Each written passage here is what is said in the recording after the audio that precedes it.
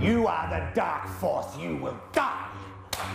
I want to sell. Come on, Lucy. Not only is she the dark force, she's she's part of the black, um, the All Blacks team, and that rugby match, you die for that as an Australian. Hey, these are great. These are the sabers.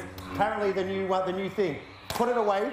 Let's sit down. Let me tell you a little story here. There we go. Do you know the global toy market should reach about, oh, it's bright now, isn't it? Should reach about $90 billion in 2015. This is according to toy analyst NPD. But what toy will be topping the Santa Claus list this... I'm exhausted, aren't you? Uh, topping the Santa Claus list for this Christmas. Uh, well, the predictions are out, and the blockbuster licenses for films such as Star Wars, also we've got a little else here, Frozen. They're in the mix across the globe. How does it compare, though, and what's happening elsewhere in the world? How does it vary from country to country?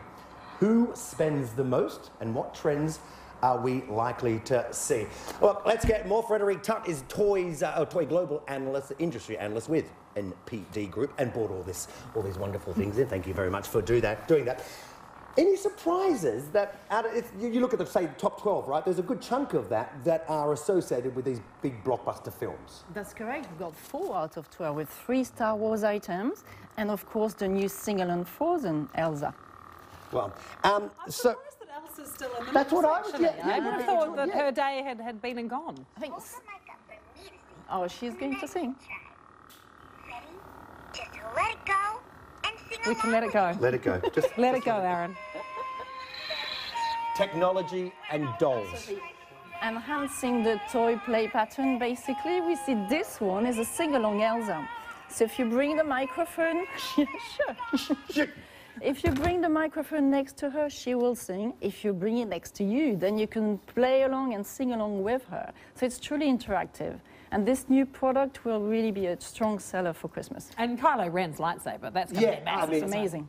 Yeah. If you ever seen a son and a dad playing Star Wars together, like, like you just did, this is just the ultimate one. But but Frédérique, we ain't talking about the old. I, I remember when the, the saber, you know, the, the lightsaber came out many, many, well, the original Star Wars. That's how old I am. Um, actually, I don't think I ever got one. Um, but look, I mean, look at this thing. Now, this is this is this, but now you've got what you can add on to it. Yes, this is a blade builder, and all these bits, yeah, they all come apart, and you can build up to 100 different customizations of your blade builder.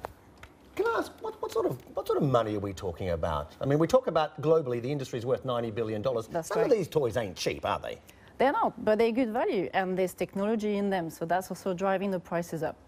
The toys that we're looking at now, the other toys that you've been looking at on your on your list, topping this year's list, is it the same trend globally? Are, are toys universal? In terms of the big franchises like Star Wars and Frozen, very much so. But that some countries will be more geared towards building sets or vehicles like the, the Germans, the Polish and the Russians, for example. And some other countries will be more traditional in their play pattern with dolls. So that's the case in Spain or in Mexico, for example. There's no That's stopping. Lego, though, is there? I mean, this Lego set here, the whole Star Wars theme It's that they've got, I mean, they've got a whole lot coming out with The Force Awakens starting. Uh, There See- is absolutely no, no stopping them, is there?